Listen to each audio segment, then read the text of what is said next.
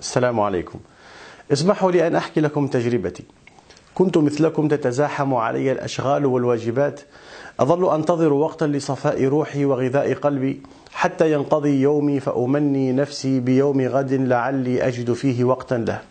ربما أرى أحدا يرتل آياته فيحترق قلبي شوقا لمصحفي وأكفكف عبراتي قائلا. هوني عليك يا نفس فلست مشغولة بلهو أو بباطل بل بطاعة وبر ودعوة وخير.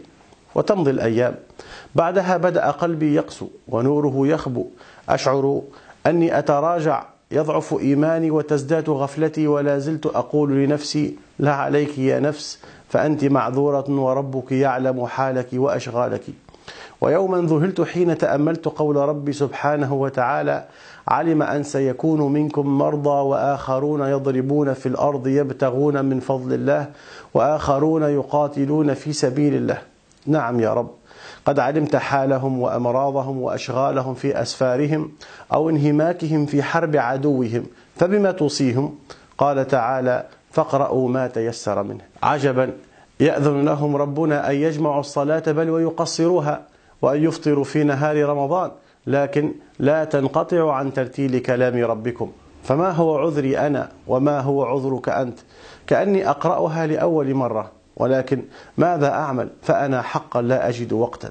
تأملت يومي وأعمالي زوجة أولاد عمل جلسة مع الأهل وأعمال أخرى كثيرة.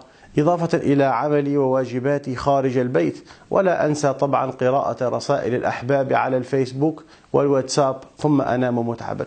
لا أخفيكم خجلت من نفسي كثيرا. أيعقل أن أجد وقتا لكل هذه الأشياء ولا أجد نصف ساعة لتلاوة وردي.